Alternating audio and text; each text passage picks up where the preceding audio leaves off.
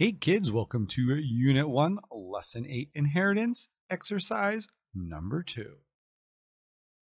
Today we're going to learn about what inheritance is and how we can use it. Inheritance is a very important core concept of Java.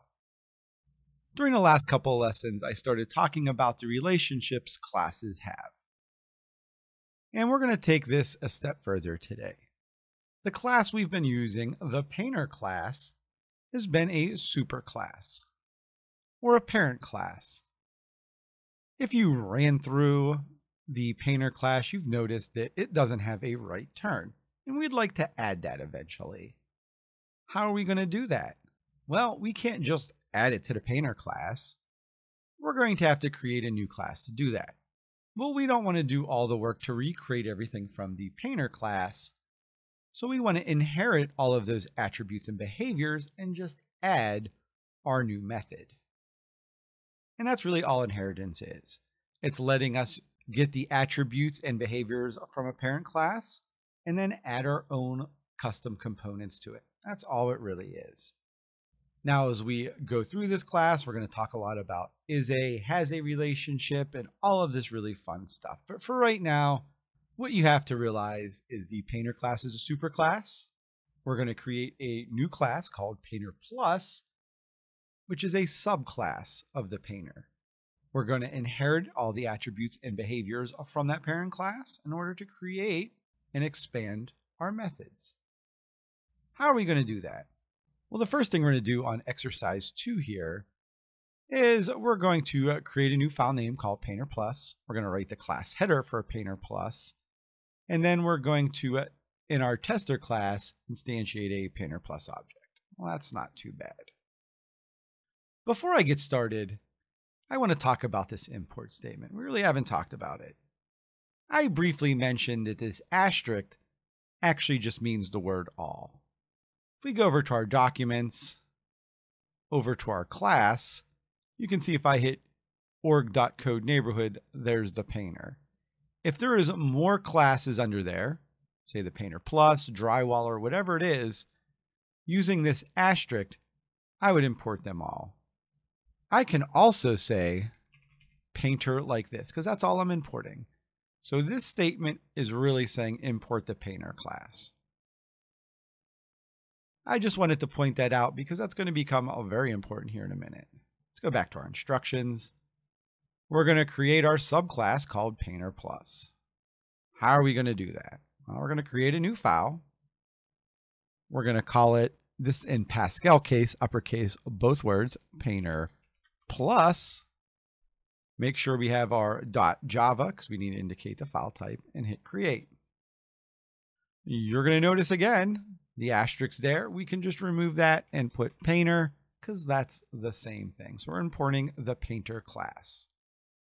So if we have the painter class, we want to extend those attributes and behaviors to our painter plus class. First thing we need to do is write our class header. Let's hmm. come down here. How do we do that? We want access to be public through all the classes. So we're going to write the keyword public. It is going to be a class. We're going to put the word class. And then the name of our class exactly as we created in the file above. This is going to contain things, so we need to put curly cues. I'm going to hit a couple returns here. I'm also going to comment this out. This is end of class. Now this creates a new class called Painter Plus, which is awesome. I could write anything I want. But if I go call rhodes.move, it's not going to work because Painter Plus doesn't know Painter. It doesn't know anything yet. How do we get it to know or inherit all of those behaviors and attributes. It's pretty simple. We write the word extends and then the class we want to extend, which is the painter class. So now painter plus our new class extends this painter class and gets all the behaviors and attributes or our methods for the painter plus class now. So it's just saying painter plus is a subclass of the painter class. After we do that, don't forget another important thing. We need to make a constructor. I'm going to call it public. We're going to call it painter plus, and we're going to put a little curly cues. Do not forget your parentheses. We may put some arguments in there, but for right now, it's a no argument constructor. We're just going to put it in there like this.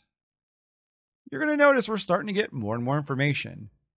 It's good to just code this stuff out. This is a constructor for the future. So we created a new file name and we wrote the class header, Painter Plus. Let's go back to neighborhood and instantiate an object.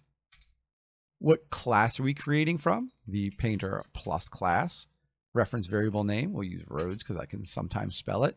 This is definitely a new class, and we are getting it from the Painter Plus constructor that I just created. Now when I hit run, my friendly little painter should pop up right there. Well, let's see if we're right. And it looks pretty good. Let's test it, see if we did everything we needed to.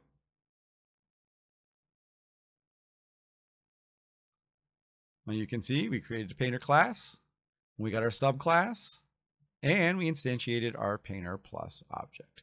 Pretty neat, kids.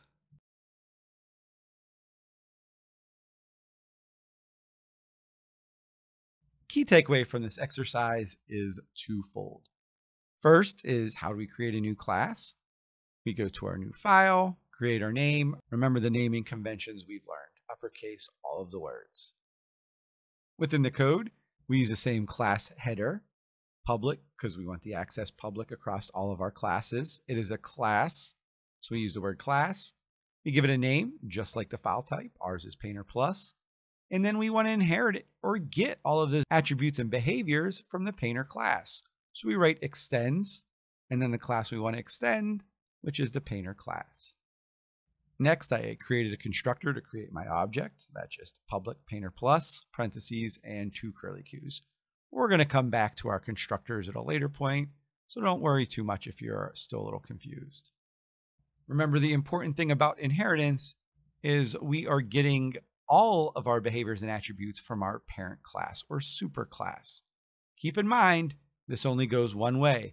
The superclass does not get any attributes or behaviors from the child class or subclass. It only goes one way. Keep that in mind. Finally, we instantiated an object here, this time from a brand new class, Painter Plus. And since we are extending or inheriting the Painter class, our object was created at 0, 0 facing east with no paint, just like it was with the Painter class. Hopefully, all this video helped you understand inheritance just a little more as always, kids, if you have any questions, come see me. Otherwise, I'll see you in the next video. See you later, kids. Bye. Bye.